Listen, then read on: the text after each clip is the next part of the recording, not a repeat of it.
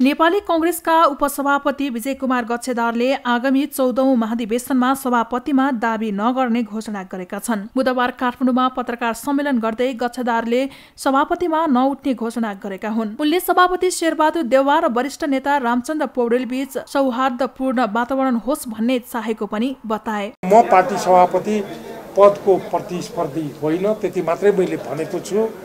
यो महाधिवेशनमा अहिले आउन समय बाँकी छ म अब निक आउने समयमा मैले के पदमा प्रतिस्पर्धा गर्छु म तपाईँहरूलाई पछि म जानकारी गराउँछु नै। नेपाली कङ्ग्रेसको लागि विजय गस्तार मात्रै होइन धेरै धेरैजना प्रतिस्पर्धीको रूपमा आउन सक्नुहोला कोही सभापति कोही महामन्त्री कोही सहमहामन्त्री तर म चाहिँ नेपाली कङ्ग्रेसमा नेपाल लोकतान्त्रिक फोरम एउटा छुट्टै पार्टीको अस्तित्वमा रहेको पार्टीलाई नेपाली कङ्ग्रेसमा एकीकरण गरेको हुनाले नेपाली कङ्ग्रेसको लागि म एउटा सबैको साझा विषय बन्न सक्छु साझा व्यक्ति बन्न सक्छु। नेपाली कङ्ग्रेसको चौधौं महाधिवेशन आगामी मङ्सिरमा हुँदैछ। आफूले कुनै गुटका पक्षमा वकालत नगरेको र एकता र मेलमिलापबाट महाधिवेशन हुनुपर्ने पक्षमा रहेको उनले बताए। गच्छदारले बालुवाटार जग्गा प्रकरणमा आफू निर्दोष रहेको जिकिर गरे। व्यक्तिगत रूपमा सरकारलाई हानि हुने कुनै काम आफूले नगरेको उनको भनाइ छ। मन्त्री परिषद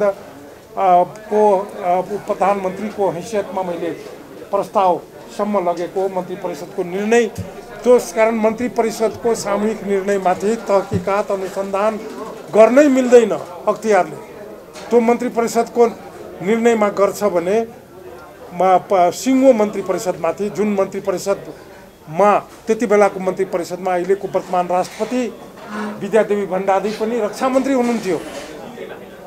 के अरे भीम रावल गृहमन्त्री हुनुहुन्थ्यो। काङ्ग्रेसका साथीहरू सुजाता कोर्ला उप उप प्रधानमन्त्री हुनुहुन्थ्यो। धेरै मन्त्रीहरू थिए। त्यस कारण त्यो सामूहिक निर्णय भएको हुनाले मलाई व्यक्तिगत रूपमा जबरजस्ती मुद्दा चलाएको हो।